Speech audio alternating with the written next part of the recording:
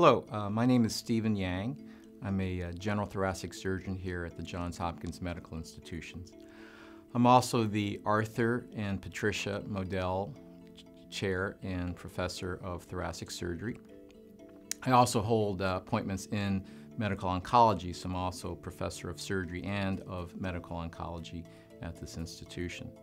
I also serve as the Adjunct Vice Chair for the Department of Surgery for Faculty Development and Education. Uh, my fields currently are that primarily of all the diseases of the chest except for the heart.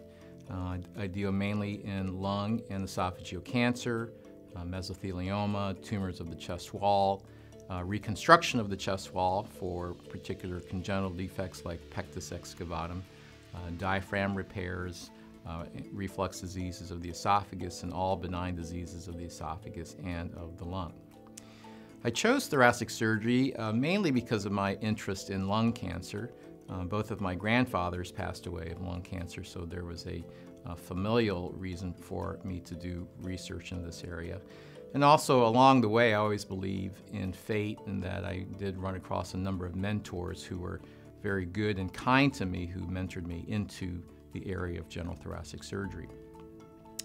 My research is uh, primarily of three areas. So one is clinical research. We are looking at outcomes in robotic surgery, minimally invasive surgery, uh, after induction or preoperative chemo and radiation therapy for lung and esophageal cancer. I also do educational research as my role for faculty development and also um, education of the medical students.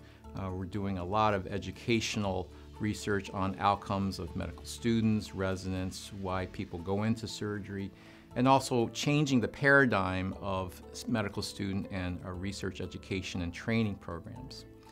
Uh, my final area of research is also that of survivorship. Having been here for about 25 years, I've amassed about thousands, two, two to 3,000 of patients uh, who do still follow me um, in clinic for long-term surveillance to determine if there are new cancers.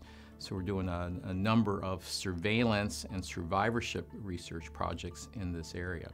So my philosophy of patient care is centered around the patients and their families. We have a great team of people who take care of you. From the beginning, in the outpatient center, we have advanced practice nurses and nurses who will help answer some of your questions and try to allay some of your fears before the operation. We have a great team of anesthesiologists and OR nurses who will take care of you in the operating room. And we also have a team of advanced practice folks. Although most of the decision making is the surgeons, we do also rely upon the patients and their families. So we do depend upon a, a joint decision making process, sometimes made during clinic, but oftentimes after our initial clinic uh, visit is done. So we thank you again for your uh, visiting this website and also for your interest in the Johns Hopkins Medical Institutions, and we look forward to seeing you in the future.